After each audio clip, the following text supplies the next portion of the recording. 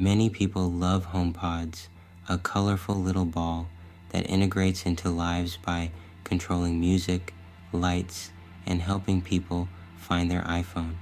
However, it is a complicated relationship as the current Siri often struggles to understand me. With Apple Intelligence's generative AI promising a smarter Siri soon, it is disheartening that this upgrade will not reach the HomePod, which relies heavily on voice commands. Apple's new AI features require an A17 Pro chip, available only in the iPhone 15 Pro and Pro Max. Rumors suggest a more powerful HomePod could be on the way, possibly featuring a screen.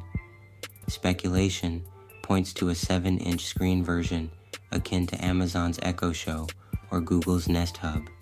Apple might reveal these new devices to complement the iPhone lineup.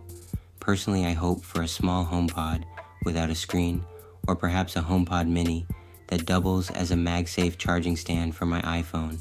That is the dream. Click the video on screen for more tech reporting.